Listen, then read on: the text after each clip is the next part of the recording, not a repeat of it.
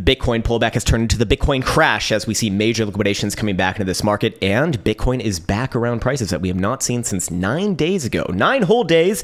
So, you know, that's very, very serious, and this is certainly going to be uh, the worst case scenario as we get into it. And I actually, in a more sincere tone, want to be drawing some comparisons between a past market cycle and what we're seeing right now, because it was actually one of my most big mistakes from the past market cycle. And, uh, and if I can do anything about it this time, I would like to actually avoid that and provide a little bit of uh, at least experience um, from what I saw during that time. And, uh, and of course, you can draw your own conclusions from that. Anyways, uh, should follow up. Well, we don't necessarily have to follow up on the setup right here, the 12 hour and the daily setup, both closing on Monday. In hindsight, was a pretty damn good closing price. Of course, uh, didn't necessarily predict that things were going to come this far down. But if you are following this setup, I would say that at minimum, I would not be, um, you know, interpreting this move as a fake out uh, with actionable steps as long as Bitcoin is below that red moving average, that five exponential right there, which is pretty much just a hair below 61,000 bucks as it is right now. Now, I suspect that we're probably not going to see much today.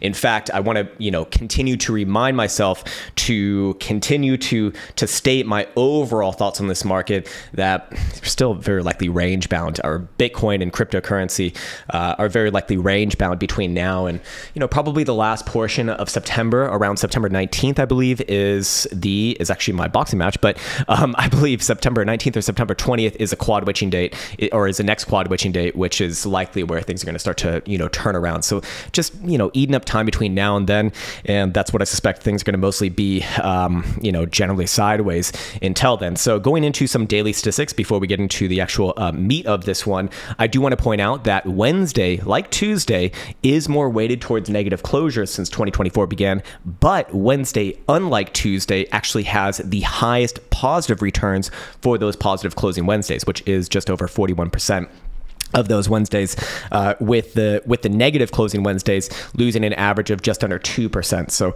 uh, actually, kind of like the reversal of what we saw on Tuesday, where Tuesday typically has the worst negative return, or it does have the the worst negative returns, and also very very likely to close um, negatively as well, which is what we did see yesterday.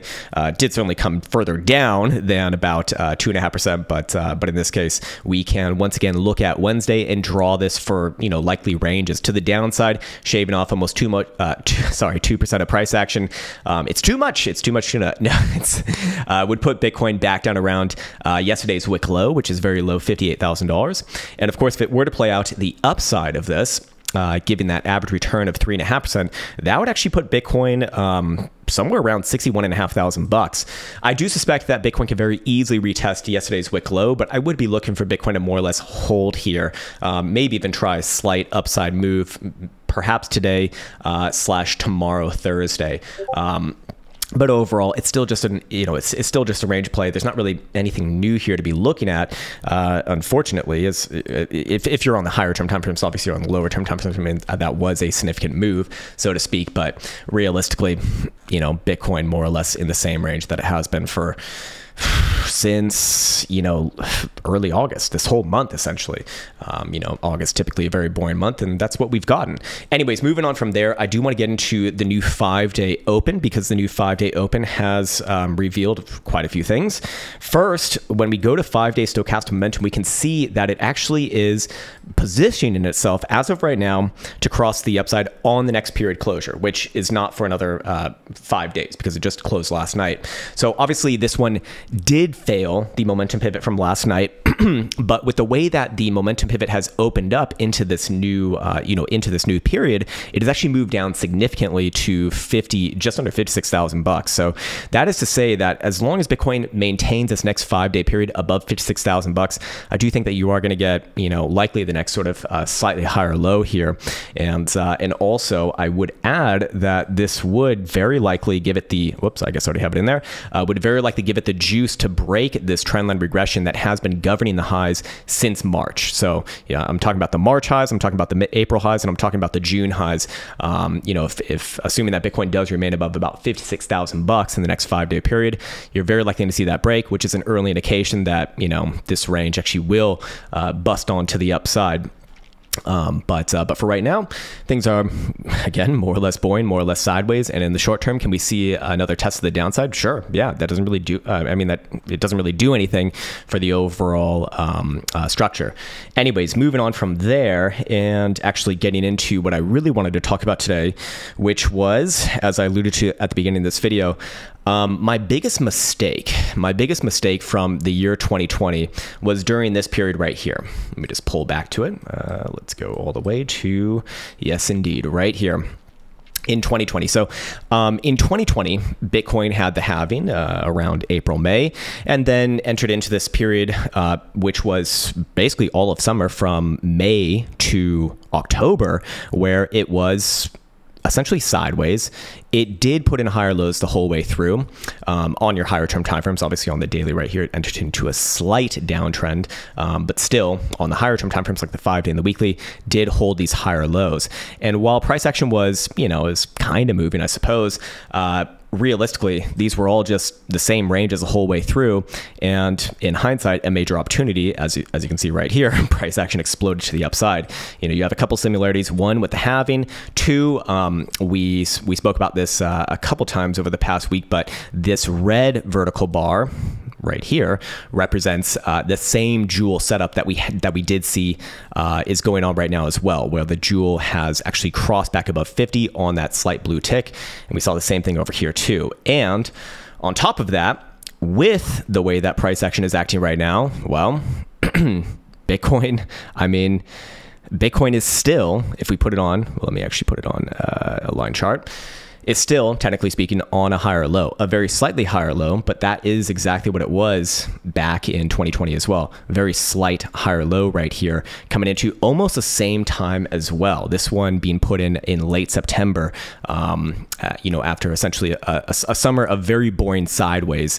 Uh, in again, in hindsight, you know, very little happened here, but of course, you know, this is what launched that major run, um, you know, for the rest of the year into 2021. So, you know that was one of the major mistakes that I made back then. That uh, I did get bearish on that last move to the downside in 2020, um, not realizing that or not paying attention to the higher term timeframes like the five day, the weekly, the monthly, which were still on higher lows, but the daily had entered into a bit of a short term downtrend, which is exactly what we have here as well. In fact, looking at the daily, we do see that Bitcoin actually does have a higher high compared to what we did see in early August, the 8th of August. That was a very key ingredient of this last move to the upside, confirming that low that we did see um, in you know in early August that you know reached all the way down actually below 50,000 bucks. And in this case, you know, as long as Bitcoin is closing higher term timeframes above about 57,000 bucks, or let's just call it 58,000 bucks, kind of round up there a little bit. Um, I do believe that we're seeing something relatively similar here as uh, major moving averages and oscillators start to switch around into a long term bullish posture. But hey, here's the thing I will be wrong on this, phenomenally wrong on this, if you do see price action, especially below about $57,500 uh, on a closing basis. That would be a big, big, big, big, big problem and uh, kind of destroy that relationship, thus putting in, you know, a, you know, you know, lower, lower here, which is what this is all kind of predicated upon. So, uh, so you know, as it stands right now, um, I do think that this move is, I mean, I, I, think it's ripe for a fake out, to be honest with you.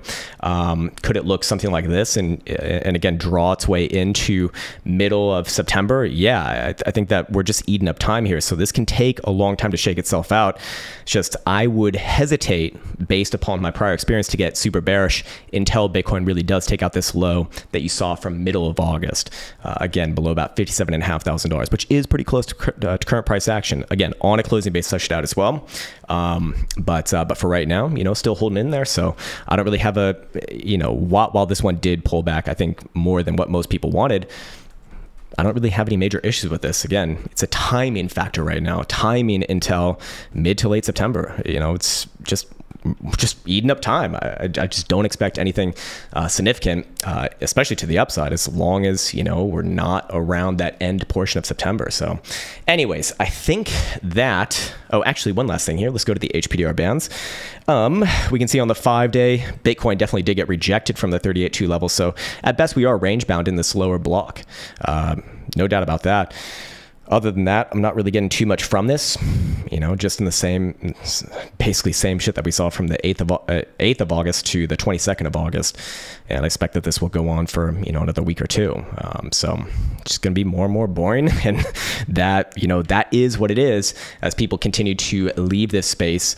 Um, you know, with Bitcoin not really doing anything as far as like the headlines go. So, anyways, I think that is good for today's video. I think we'll probably end things on that uh, on that note as well. Um, again, as as far as I'm concerned, as long as Bitcoin's closing dailies above fifty seven and a half thousand dollars, especially on CME, do you think that uh, probably this this offers up an opportunity? Something like this can you know can drop back down into there, but uh, I would be I would still be skeptical on this being like a real breakdown with real fall through until you do get those closures below. And at that point, yes, okay, obviously very very big problems. You can expect price action back down to very low 50s, but um, again, that was a mistake that I made in 2020. You know, I was looking for price action at that point to come back down to low 9,000s when it in reality did hold just above, uh, sorry, just below 10,000. Um, so, uh, so, so for myself, I made a big note of that. Anyways, that's where we'll end things right now. As always, I want to wish you the best of best. Take care, much love, and see you hopefully tomorrow.